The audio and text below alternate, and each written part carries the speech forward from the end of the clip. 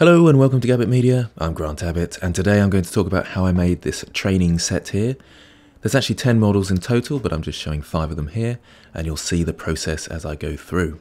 This is all part of the Atlas Empires project that I'm doing at the moment. I've put all these things into a playlist so you can check that out in the links in the description, and of course there's a link to the website for Atlas Empires. I'm very excited, I've seen my uh, models in the game now, and uh, they're looking really great. Uh, it's just so exciting to see your work or your hard work paying off and actually uh, in game uh, being exciting, being playable. It's great fun. Uh, so you can see that I'm sort of part way through here and uh, I've brought some models in from some of the other sets and I'll be baking the textures onto this map. Um, I like to be able to bake the textures in case I need to edit them in any way. Uh, lots of them are quite modular. It speeds the workflow up, but it doesn't create more texture space. And to remind people, in case you haven't seen any of this before, I'm working on 512 by 512 pixel maps. And uh, well, actually, I'm working on 1000 by 1000, so 1024 by 1024, uh, but it's all getting reduced down to 512 by 512 and then all those maps will be put together into one big 2K texture. Uh, so each set will be a small part of that 2K texture. That's the thinking anyway. The projects are taking me about two days to model and texture. It does depend on the set and the complexity and how much of it's kind of repeated. So obviously a lot of these things are just repeated. I'm using uh, link duplicates uh, so that I only have to texture one. Once I've actually uh, set up the UV maps though, I can unlink them if I want to change anything, but the texture still uh, has the same space, so you can't, uh, let's say, put some shadows on and then turn it upside down and then paint the shadows on the other side. That just doesn't work. One piece of advice that I've uh, had is perhaps doing sort of two models. So if there's uh, logs or something like that, do a couple and do the shadows on the bottom of one and the shadows on the another side of the other, so there's a bit of variation, which does work, but it uh, reduces my texture space, so I've got to be a bit careful adding too many uh, different models taking up texture space. So it's quite a fine line and a fine balance. I'm quite pleased because recently I spoke to the lead artist, Chris Handlauser, and he was saying that they've managed to figure out how to get some lighting in there without the expense of too much sort of processing power. So so there will be one directional light in the scene which will make a huge difference. I was worried that the models were looking a little flat. Uh, because of the modular approach it's hard to do some shading, uh, so I'm quite pleased about that.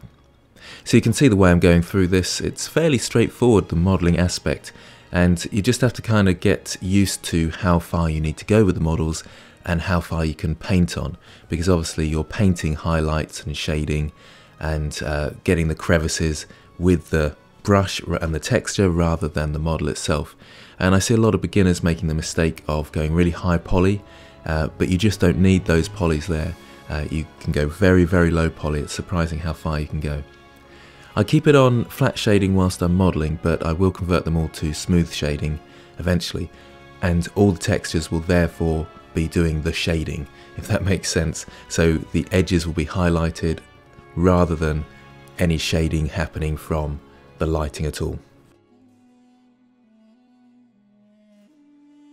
I'm still really enjoying the project. I think it's a fantastic opportunity for me to practice my texture drawing and the low poly modeling. And it's just really great fun seeing your projects and pieces of art in a game being used. It's fantastic. In many ways, people would see this as quite repetitive work, but I really enjoy that repetition because I need to practice these different things. I kind of see this in two ways. I'm looking at it in terms of just hours that I'm spending drawing, modeling, which is really good for me and good for my sort of personal growth in terms of becoming an amazing artist, which I want to be.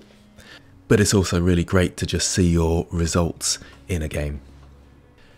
So to sort of reiterate the point about not having to go too far with your models, you can see I've made a cylinder for the base here. I could have even kept it at just a cylinder, but I wanted a bit of variation, so I've gone uh, slightly with some extrusions outwards uh, to add sort of a blockiness to it, so it's not completely cylindrical. And then I can just paint on the details of the rocks. Uh, lots of people put in the details that's not really necessary. Sometimes you might want to uh, perhaps put a bevel on a few rocks just to sort of smooth them out.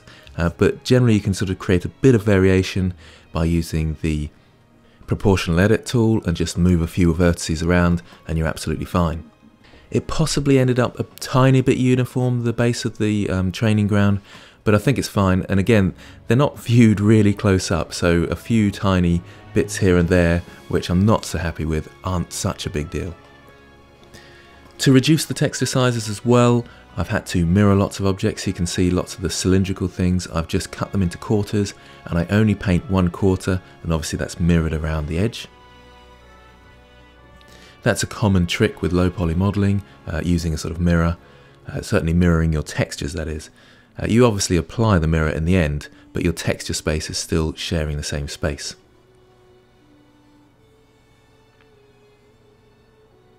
So I'm finishing off the last pieces here and you can see all the models set together and then I go in and UV unwrap. So I go into every object and just unwrap it as if it was just a normal object.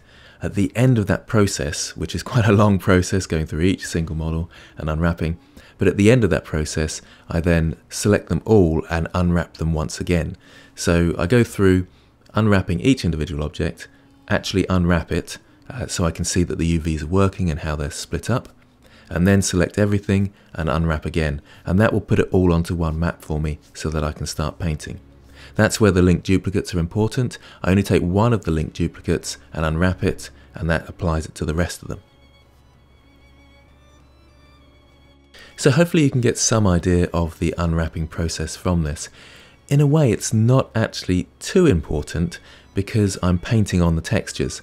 So when you're painting on the textures, your seams aren't as visible because they kind of paint over and the software kind of interprets the seam and it's seamless, but it does help to have nice big islands that are sort of reasonably set out. I know that's a very vague way of looking at it, but if you sort of set out your islands, then if you need to change any of your textures, you can easily select them in another program like Photoshop or GIMP or whatever it might be. And at that point you could edit them. Let's say all the logs needed to be a darker brown then I could select all the browns in the image and just bring the browns down in photo editing software of some description. It's interesting in the painting process you can really start to see my pixels when I zoom in close so uh, it is very small and this is double the size at the moment so it's going to be reduced even further but once you're from a certain distance it's absolutely fine so for mobile game assets uh, you don't need really high resolution maps. Someone was asking me if I could go into detail with the shield. I will do a shield painting tutorial fairly soon, uh, so uh, that's on its way. I try and save my texture after I've painted an object. Each time save my texture and resave my texture. And I'm trying to get into a habit of doing that. You don't want to lose your textures. But I haven't had many crashes at all in Blender 2.8, so I'm really impressed. Uh, they do it, they've done a fantastic job with it. It's, it really is a fantastic program, and I'm looking forward to 2.81 actually, with all the new tools that are coming out there as well.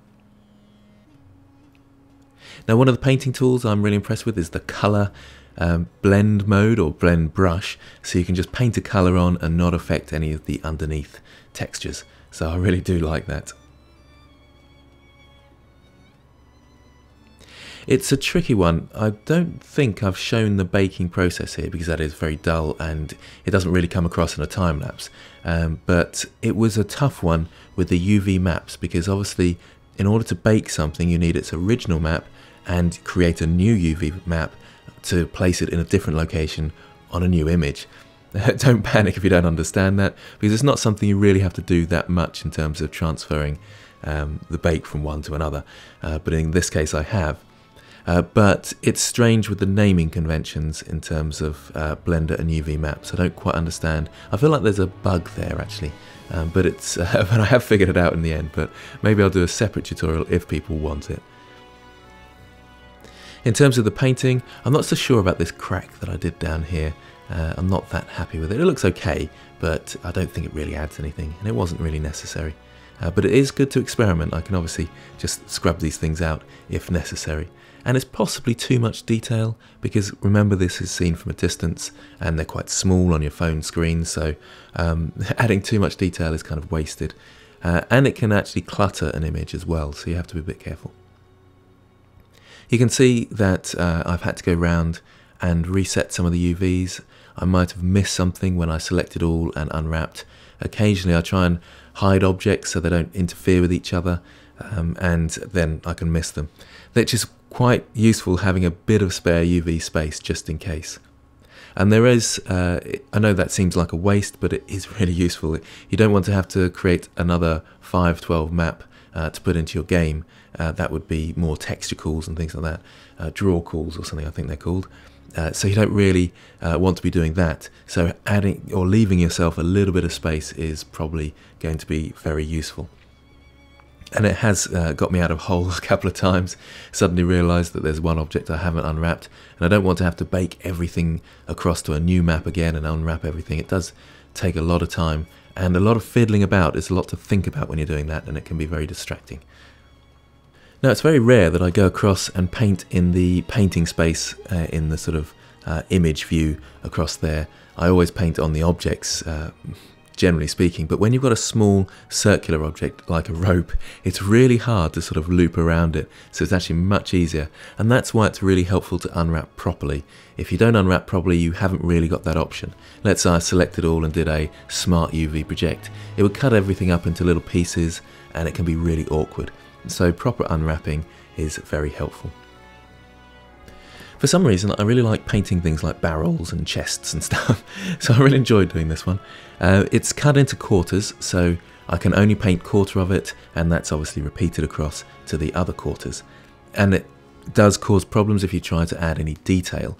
So you may notice that a lot of my things haven't got that fine detail that uh, you might see in texture painted or texture art or really nice texture art. Uh, but it's just impossible really to do that if you want to bring everything down into a small texture space.